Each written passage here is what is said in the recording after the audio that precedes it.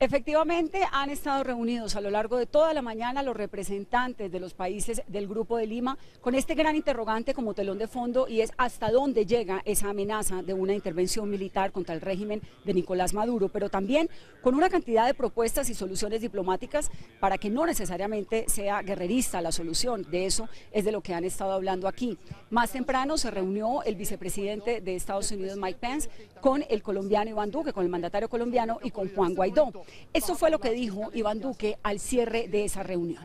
Hoy estamos demostrando que el cerco diplomático alcanzado por nosotros es irreversible, que ya no podrá ganar legitimidad el dictador, que hoy debemos enviar los mensajes correctos, los mensajes políticos correctos, que todo el mundo se sintonice con la causa de libertad en Venezuela en cabeza de la Asamblea Nacional y del presidente Guaidó. El vicepresidente Pence estaría de regreso en el día de hoy a Estados Unidos. Vino fundamentalmente a esta reunión en la que se están viendo todas estas eh, posibilidades y esta situación con los antecedentes del fin de semana, que para algunos fue un triunfo para el gobierno interino de Juan Guaidó porque dejó al descubierto, digamos que desenmascaró el régimen de Nicolás Maduro, lo cruel que puede llegar a ser, pero que para otros fue una una determinación innecesaria que terminó siendo muy violenta. Para la Alianza Informativa Latinoamericana, desde la Cancillería colombiana, soy Vanessa de la Torre.